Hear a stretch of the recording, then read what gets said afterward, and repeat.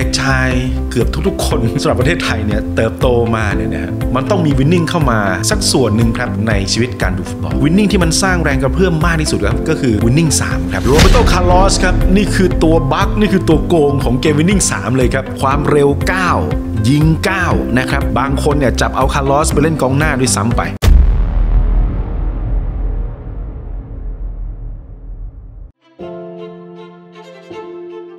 Main Stand Stories เรื่องราวกีฬาที่มากกว่าผลการแข่งขัน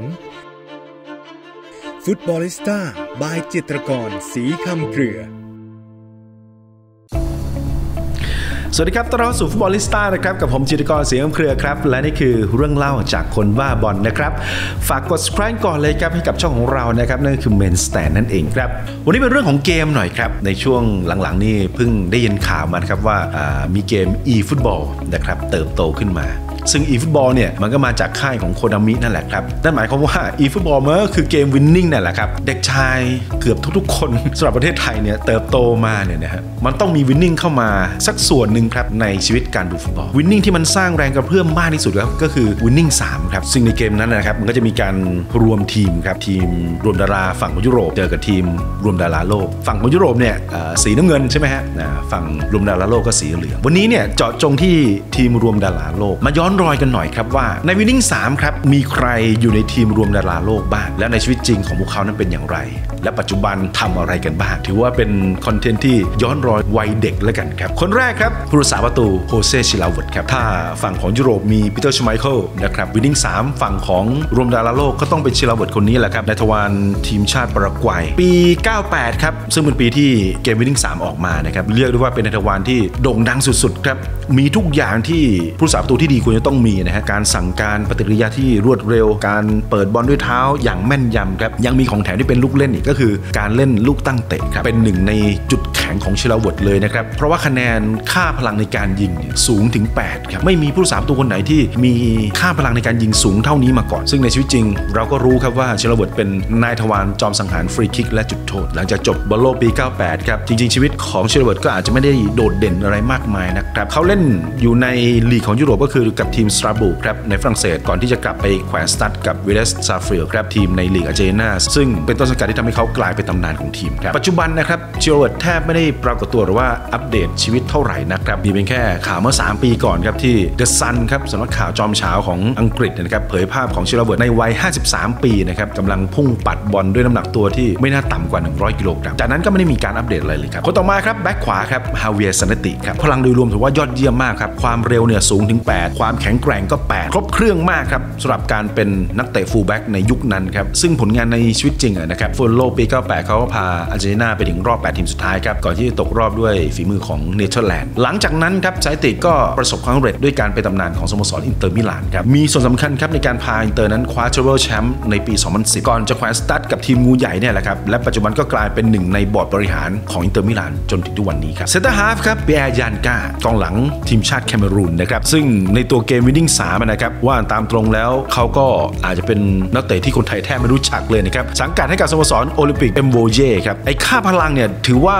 จุดเด่นก็คือความเร็วครับความเร็วเนี่ยนะฮะในเกมนะครับถ้าคุณมีความเร็วในระดับ 8 แบบเนี้ยนะครับโอ้โหแค่นี้ก็โอเคแล้วครับยิงท่าในตำแหน่งเซนเตอร์ฮาฟด้วยนะฮะวิ่งเร็วตัวสูงได้แล้วครับ ซึ่งในชีวิตจริงนั้นยันก้าแขวนสตัดไปตอนอายุ 45 ปีครับแล้วก็เส้นทางในการเล่นฟุตบอลของเขานั้นก็ไม่ค่อยประสบความสำเร็จเท่าไหร่ครับส่วนใหญ่ก็เล่นอยู่ในลีกรองของฝรั่งเศส ซึ่งหลังจากแขวนสตัดแล้วนะครับก็ทำงานอยู่ในแวดวงของ ลีกฟุตบอลอินโดนีเซียนั่นแหละครับเซนเตอร์ฮาฟอีกคนก็คือโรเบโตอายาลาครับในยุคนั้นนี่คือท็อปมากๆครับอายาลาเนี่ยเป็นตัวหลักของอาร์เจนตินามาอย่างยาวนานครับในชีวิตจริงของเขาครับประสบความสำเร็จสุดๆก็คือตอนที่อยู่กับบาเลนเซียครับคว้าแชมป์ลาลิกาได้ 2 สมัยครับปี 2002 และ 2004 ก่อนจะย้ายไปอยู่กับซาราโกซาแล้วก็ปิดท้ายกับสโมสรบ้านเกิดก็คือราซิงคลับหลังจากเลิกเล่นนะครับอายาลาก็มุ่งไปในทางการเป็นโค้ชแบบเต็มตัวครับสอบ license มาตั้งแต่ปี 2014 ครับแล้วก็ปัจจุบันนี้นะฮะเขาก็ทำงานเป็นหนึ่งในสตาฟโค้ชของเลโอเนลสคาโลนีครับที่คุมทีมชาติอาร์เจนตินานั่นเองครับแบ็กซ้ายตำแหน่งนี้เป็นใครไปไม่ได้ครับโรเบโตคาร์ลอสครับนี่คือตัว bug นี่คือตัวโกงของเกมวินนิ่ง3เลยครับความเร็ว 9 ยิง 9 นะครับ บางคนเนี่ยจับเอาคาร์ลอสไปเล่นกองหน้าด้วยซ้ำไป ซึ่งในชีวิตจริงก็ประสบความสำเร็จอย่างยอดเยี่ยมครับคว้าแชมป์โลกกับบราซิลในปี 2002 ทุกความสำเร็จของเรอัลมาดริดในยุคกาลาติกอสครับมีโรเบโตคาร์ลอสเป็นหนึ่งในส่วนร่วมอยู่แล้วครับหลังจากที่ออกจากมาดริดนะครับคาร์ลอสก็เล่นอีก 4 สโมสรครับย้ายไปอยู่กับเฟเนบาเช่โครินเทียนส์อันจิมาคัชคาลาแล้วก็เดลีไดนาโมก่อนที่จะแขวนสตาร์ทอย่างเป็นทางการก็คือปี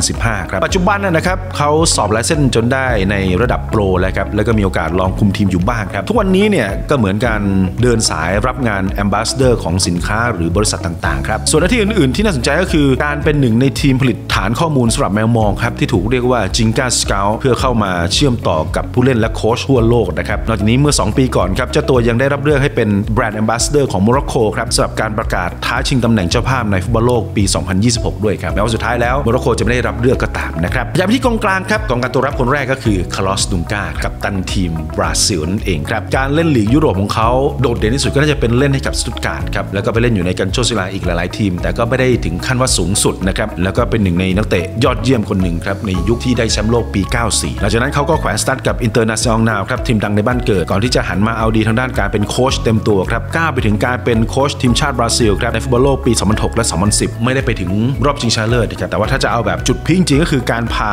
ทัพแซมบ้าเนี่ยคว้าแชมป์โคปาอเมริกาในปี 2007 นั่นแหละครับหลังจากออกจากทีมชาติบราซิลครับดุงก้าก็ยังไม่ได้รับงานใด ๆ เลยครับแล้วก็มันมีอยู่ช่วงนึงครับตอนที่ทีมชาติไทยนั้นหาเฮดโค้ชคนใหม่ครับก็มีข่าวครับว่าคาร์ลอสดุงก้าเนี่ยเป็นหนึ่งในตัวเลือกนะฮะแต่สุดท้ายก็ไม่มีดีลนั้นเกิดขึ้น มาถึงกองกลางตัวรุกนะครับคนหนึ่งที่โดดเด่นก็คืออาริเอลออเตกาครับกองกลางฉบับกระเป๋าทีมชาติอาร์เจนตินานะครับถือว่าเป็นหนึ่งในนักเตะที่แจ้งเกิดสุดๆครับในฟุตบอลโลกปี 98 มีความเร็วเทคนิคการเล่นในพื้นที่สุดท้ายถือว่ายอดเยี่ยมมากๆครับเป็นหนึ่งในผู้เล่นของทีมเป๊ปซี่ในตำนาน แล้วก็การ์ดของเขาเนี่ยหายากเอาเรื่องเลยครับส่วนค่าพลังในเกมวินนิ่ง3นะครับเฉลี่ยโดยรวมแล้วครับไม่มีต่ำกว่า 8 เต็ม 10 ทั้งความเร็วการเล่นเกมรุกดังนั้นจึงไม่แปลกใจครับที่เขาเข้ามาเป็นหนึ่งในทีมรวมดาราโลกนะครับในชีวิตจริงนั้นนะฮะแม้ว่าจะมีโอกาสโยกมาเล่นในลีกของยุโรปครับแต่ทั้งการเล่นกับบาเลนเซีย หรือปาม่าก็ไม่ได้เป็นชิ้นเป็นอันเท่าไหร่สุดท้ายเนี่ยเขาก็กลับไปเล่นในลีกบ้านเกิดแล้วก็กับทีมที่สร้างเขาขึ้นมาครับก็คือริเวอร์พลทก่อนที่จะแขวนสตาร์ทไปในปี 2012 ครับ แล้วก็ปัจจุบันเนี่ยนะครับหน้าที่การงานของเขาก็คือการเป็นโค้ชให้กับทีมเยาวชนของริเวอร์เพลทนั่นเองครับซึ่งถือว่าเป็นการพลิกโฉมหน้าใหม่หมดเลยครับ เพราะว่าก่อนหน้านั้นครับอาริเอลออเตกา